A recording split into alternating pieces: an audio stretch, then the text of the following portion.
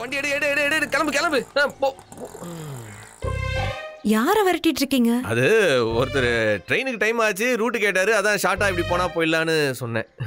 ஆ, அப்ப நான் கிளம்பட்டுமா? ஏங்க நீங்க இந்த மகளிர் மட்டும் படத்துல வர ஜோ மாதிரியே இருக்கீங்களே உங்களுக்கு இந்த புல்லட்லாம் ஓட தெரியுமா? தெரியாது. எங்க போனாலும் கார் தான். இந்த வெளிக்காத்து வாங்குறதுக்கு கார்லாம் வேலைக்கே ஆகாதுங்க. புல்லட் தான் சூப்பர் மேட்ரு. அந்த சுகமே தனி. அனுபவிச்சிருக்கீங்களா?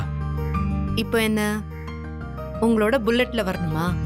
அப்ப நான் புல்லட்டை ஸ்டார்ட் பண்ணலாமா?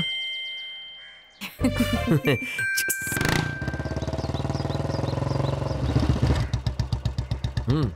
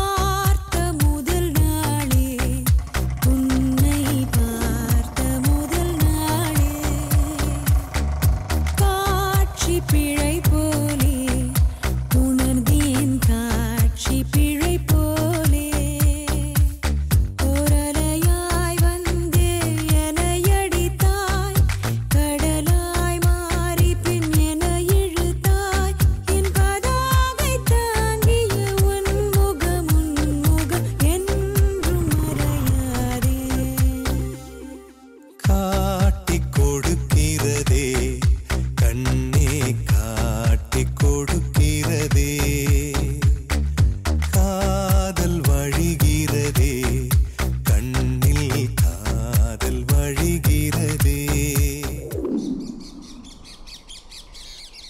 திருமண மலர்கள் தருவாயா? தோட்டத்தில் நான் வைத்த பூச்செடியே. தினம் ஒரு கனியை தருவாயா? வீட்டுக்குள் நான் வைத்த மாதுளையே.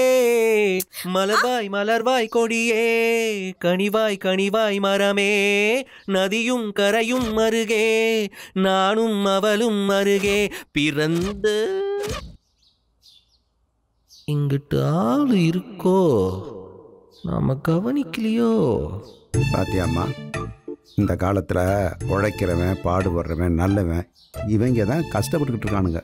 இந்த மாதிரி பொறுக்கி பரதேசி இவங்கெல்லாம் உலகத்தில் சந்தோஷமாக திரியிறாங்க.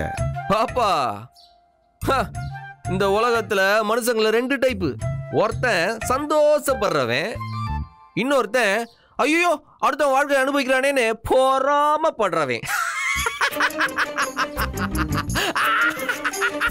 என்னென்ன? இன்னைக்கு ஏகப்பட்ட சந்தோஷத்துல இருக்க? மாயன் என்னைக்கு நீ சோகமா பார்த்திருக்க? என்னைக்குமே நம்ம லைஃப் ஜாலிலோ ஜிங்கானாதான் ம், இல்லையே. இன்னைக்கு கொஞ்சம் எக்ஸ்ட்ரா சந்தோஷமா இருக்கிற மாதிரி தெரியுதே. What's the matter black and ஒயிட்டா இருந்த நம்ம லைஃப்ல மெது மெதுவா கலர் படம் வர ஆரம்பிச்சிடுச்சுல. கேள்விப்பட்டோம் கேள்விப்பட்டோம். உன் வாழ்க்கை ரொம்ப கலர்ஃபுல்லா போகுதுன்னு கேள்விப்பட்டோம். ஆ? அவ்வளவு சீக்கிரம் யார் சொன்னாங்க உனக்கு? எட்டு மணி நியூஸ்ல சொன்னாங்க. எட்டு மணி நியூஸ்ல நம்மள பத்தி தலைப்பு தேதி சொல்றாங்களாமா கேட்டியா? டேய்? அத்தான் ஃபோன் பண்ணாங்க யாரோ ஒரு பொண்ணு கூட வண்டியில போனியாமே.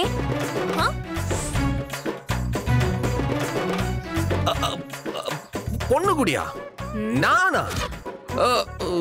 எந்த பொண்ணோட போனா முகம் தெரியலையா? அன்னைக்கு வேகமா போனதா சொன்னாங்க? வேகமாலாம் ஒண்ணும் போல. ம், அப்ப போனேன். இது வரைக்கும் குடிப்ப அடிப்பன்னு தான் சேதி வந்துச்சு. இப்ப என்னவோ புதுசா வருது. மா இருமா. இந்த ரைட் இருக்கான்ல. அவன் பழனிக்கு முடி விட்டுருக்கேன். நேற்று வேற பச்சை கலர் ஜிப்பா போட்டிருந்தானா? அதை பார்த்துட்டு மாமா தப்பா புரிஞ்சுக்கிட்டு சொல்றாரு. இல்லையே. ஒரு பொண்ணு புடவை கட்டி இருந்துச்சுன்னு மாமா தெளிவா சொன்னாங்க.